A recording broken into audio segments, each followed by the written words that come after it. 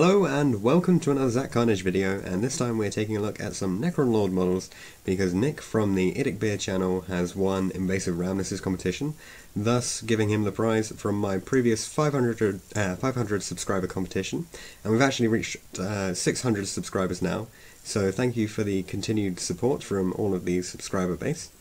Uh, so Nick wanted um, a single mini, he was entitled to any single mini under the uh, the price of £15. Um, so he wants a Necron Lord to go with his Cryptek unit. So uh, I, I, initially asked uh, my beautiful girlfriend to produce some artwork for this project, and this is what she's made. Uh, as you can see uh, from my previous video, I, I wanted the um, Grim Reaper style scythe, and she's produced that beautifully, and the built up shoulders and the, just the general Necron look fits really well with this image.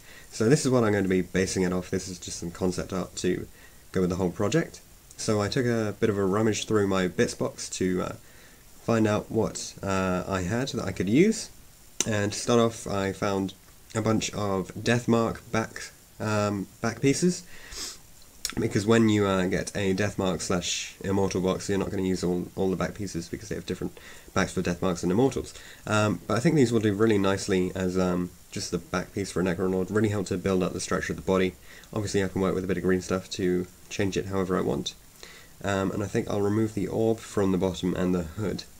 But the orbs at the back should um, produce some pretty good supports for a cape in any event.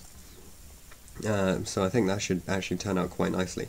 But obviously I don't have a front to work with because you have none of the fronts left over, so I can't actually produce that ribcage element without working with some other stuff. So um, to produce the front, I'll probably actually have to end up taking another torso piece like this uh, and just sort of connecting the two, somehow working with a bit of green stuff again to uh, fill that in. And then to try and produce the ribcage on the front, I can look for um, some other bits and pieces and spines because you want the, the general ribcage. And so you get that nice skeletal look that most Necrons have. And uh, in terms of weapons, uh, we've got the staff from uh, a Praetorian, uh, another staff from a, this is actually from a, a Grey Knight Terminator, I believe.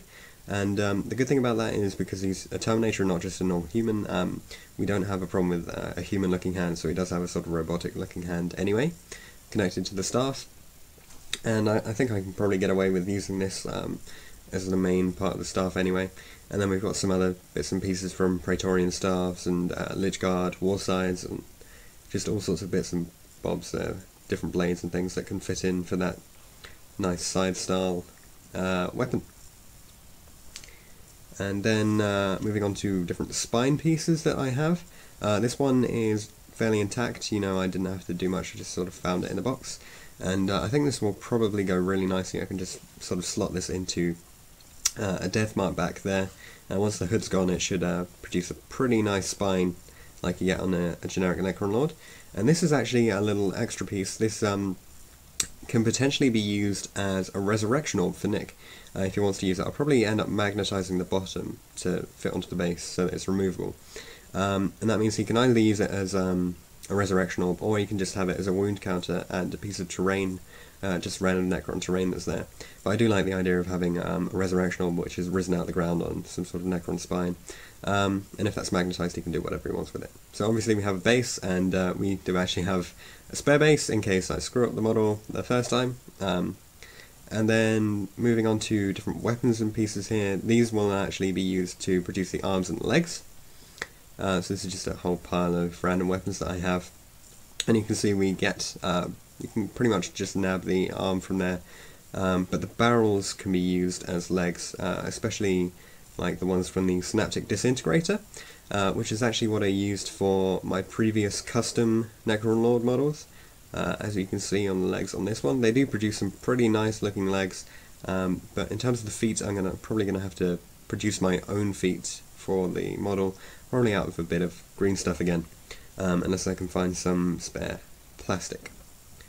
Uh, and then this is just uh, another Tesla carbine which can produce some pretty good legs, but it's a bit beefy. I think the Synaptic Disintegrator works a little bit better for that.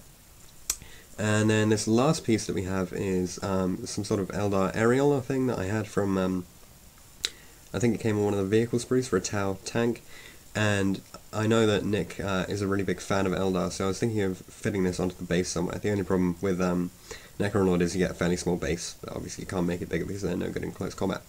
Um, so yeah, I, I'm probably just going to fit this into the base somehow, just incorporate it in there and maybe snap it in half or something and just...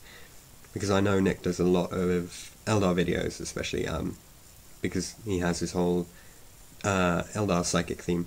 So as always, thank you for watching this video. Um, don't forget to leave any comments or suggestions that you have in the comment section down below. Uh, if you want to leave any comments about my girlfriend's art, go ahead and request some more. Thanks for watching. I'll see you guys in the next video.